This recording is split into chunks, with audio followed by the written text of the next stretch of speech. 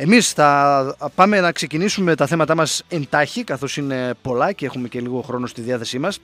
Με αυτή την ανάλυση που έχει κάνει στην ιστοσελίδα του α, Γιώργος Οσφυρής και αναφέρεται σε όλο αυτό το θέμα με, την, ε, με τις αρμοδιότητες της ΕΕΑ, την νομολογία που έβγαλε στις 3 Φεβρουαρίου του 2016 και θα προσπαθήσουμε να το εξηγήσουμε λίγο με τη βοήθεια ενός νομικού που γνωρίζει και αυτός επίσης πολύ καλά το αντικείμενο, του Γιώργου του Γιαννόπουλου.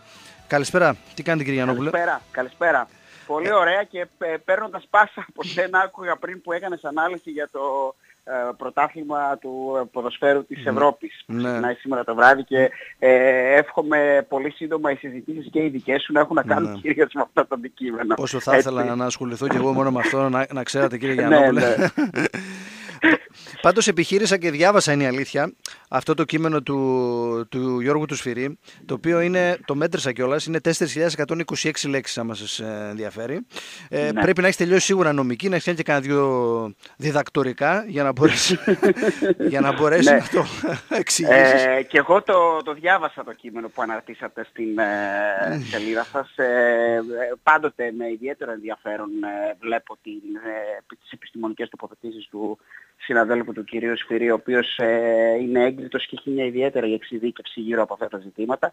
Ε, με πολύ μεγάλο ενδιαφέρον τη διάβασα και είναι βέβαιο ότι θα, την, ε, θα εξακολουθήσω να την, ε, και στο μέλλον να την ε, βλέπω και να τη μελετήσω ακόμα καλύτερα για να δω τι μπορεί να προκύψει ακόμα περισσότερο από αυτήν.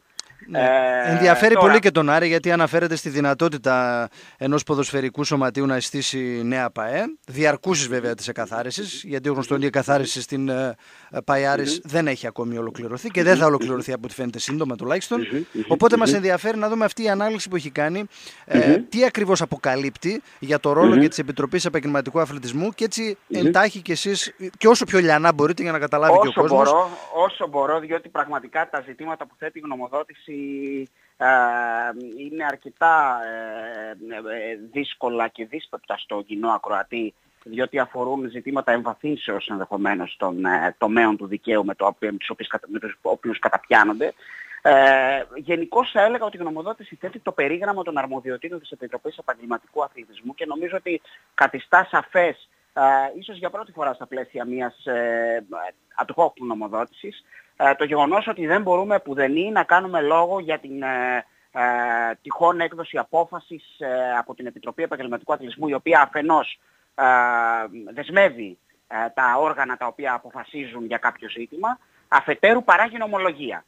Νομίζω ναι. δεν, μια τοποθέτηση στην οποία είχα επιμείνει και σε παλαιότερες ε, ναι, θυμάμαι ότι το είχατε αναφέρει και εδώ στην εκπομπή αυτό το δεν, πράγμα. Ναι. Δεν μπορούμε να μιλάμε σε καμία περίπτωση για οποιαδήποτε απόφαση ε, οργάνου που, ε, έχει, που συναρτάται με τις αρμοδιότητες οι οποίες αναγνωρίζονται ε, στην ε, Επιτροπή Επαγγελματικού Αθλητισμού που μπορεί να παράγει μία γνώμη του ή μία απόφαση του, μία κρίση του νομολογία. Νομολογία παράγεται μόνο από τις αποφάσεις των δικαστηρίων και ιδιαίτερα από τις αποφάσεις του ανωτάτου ακυρωτικού, ε, το οποίο καταπιάνεται και το οποίο κυρίως επιλύει ε, τέμνη κάθετα, θα λέγαμε, ε, κρίσιμα νομικά Ε, νομίζω λοιπόν ότι αυτό είναι το βασικότερο θέμα το οποίο αναλύει πάρα πολύ ορθά και με μια πολύ στέρεη επιχειρηματολογία η γνωμοδότηση. Ναι. ε, και ε, είναι ένας προπομπός θα έλεγα του εάν και κατά πόσο η όποια κρίση της Επιτροπής Επαγγελματικού Αθλητισμού, στο μέτρο μάλιστα που δεν απορρέει από την υποβολή κάποιου από τον Υπουργό ή κάποιας αίτησης από τις Ομοσπονδίες ε, ή άλλα ναι. που έχουν τη δυνατότητα να κάνουν αίτηση προς την ε, επισκοπο, ε, της ερμηνευτικής ναι. προσέγγισης ενός ζητήματος.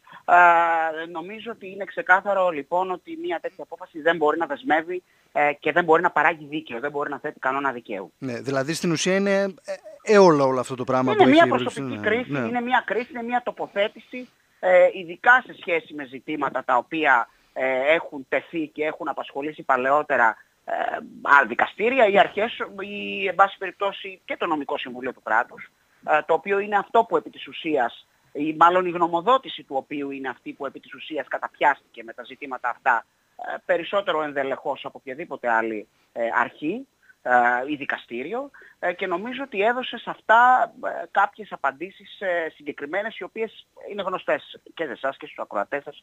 Έχουν απασχολήσει κατά κόρον το προηγούμενο διάστημα. Ε, και σε όλη αυτή την ανάλυση έχει σημασία νομίζω αυτό που αναφέρει για την γνωμοδότηση του Νομικού Συμβουλίου του Κράτους από το 2013, την υπαριθμό 308, η οποία ισχύει νομίζω ε, μέσα σήμερα, δεν υπάρχει κάποια άλλη. γνωμοδότηση. Αναφέρομαι, περιβόητη γνωμοδότηση, η οποία έγινε γνωστή εδώ και κάποιο χρονικό διάστημα, είναι αυτή στην οποία βασίζεται θα έλεγα ε, και ο νομικός ε, αγώνας του Συλλόγου για να αποδείξει ότι μπορεί να συστήσει νέα ΠΑΕ.